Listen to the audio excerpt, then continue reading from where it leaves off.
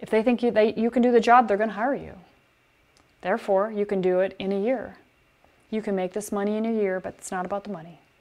You can move fast within a year. That's what we're talking about. So, this conversation is about money, it's about success, it's about moving fast. This is my whole philosophy. You don't get a great career by going slow.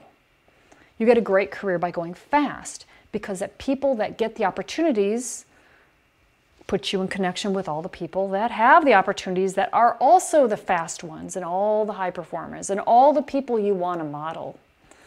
So you must go fast. That's your job if you're talking to me. I'm going to say go fast. Don't be scared about it. Don't be scared because you can have fear about it, but just decide you're going to go fast because it's a whole lot better life. And you're going to figure all of the stuff out that you're probably scared about along the way because it's important to you and that's what you want. In life, there are people that are top, there are people that are not top. There are top bankers and there's lower level bankers. The lower level bankers always wanted to be the top people, but they didn't really think about it so much, so they ended up staying lower level. So this is just a choice on how you decide you're going to roll.